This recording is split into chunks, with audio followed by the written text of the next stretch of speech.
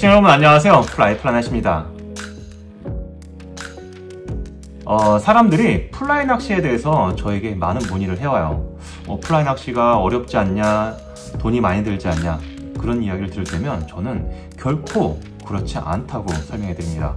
뭐 수생곤충, tying, 캐스팅 방법 등에 대해서 또 공부를 해야 되는 데다가 제품의 가격이 만만치 않다고 많이들 생각을 하세요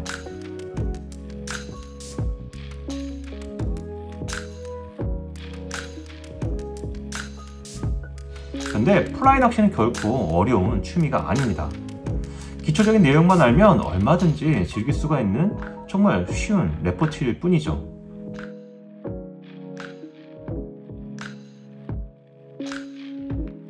또 값싸고 질 좋은 플라이 낚시 제품들이 얼마든지 많이 생겨나 있습니다. 저 같은 경우에는 좋은 제품 같은 경우에는 중고 시장에 나올 때까지 기다리다가 그때 한 3분의 1 가격에 구입을 해서 사용하는 편이라 매우 경제적으로 플라이 낚시를 운영하고 있습니다. 많은 사람들이 플라이 낚시를 즐기려면 플라이 낚시에 대한 고정관념을 좀 깨야 한다고 생각합니다. 소위 플라이 낚시를 잘 안다고 하는 사람들은 좀 알아듣기 힘들게 외국어를 사용하셔가지고 어, 단순한 기법이 마치 본인들만 할 수 있는 것처럼 이야기를 하고 계세요.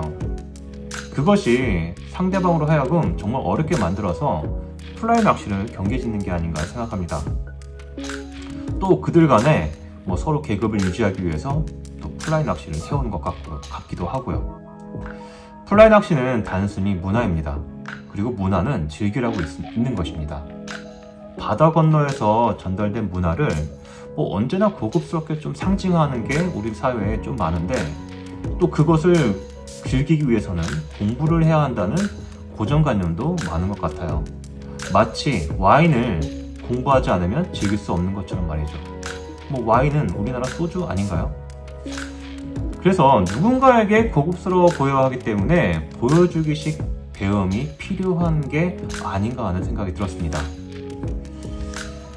플라이 낚시는 경탄과 부러움의 대상이 아닙니다. 제가 어렸을 때 계곡에 가서 어, 동네 슈퍼에서 사온 플라이를 어, 뭐 거기에 파리처럼 생긴 바늘이 잔뜩 달린 것을 계곡 사이에다 연결해 놓고 이제 낚싯대 낚싯줄을 툭툭 치면 거기에 물고기들이 뛰어올라서 먹는 장면이 있었습니다. 제가 플라이를 시작하고 나와가지고 드는 생각이 딱 그런 거였어요. 아 플라이 정말 어려운 건 아닌데. 자 플라이 플라넷은 누구나 쉽게 플라이를 접할 수 있도록 다가갈 수 있게 쉽게 설명을 하고 또 정보를 제공하는 채널로 앞으로 나아갈 텐데요. 늘 구독하고 시청해주신 여러분 감사드립니다. 이상 플라이 플라넷이었습니다.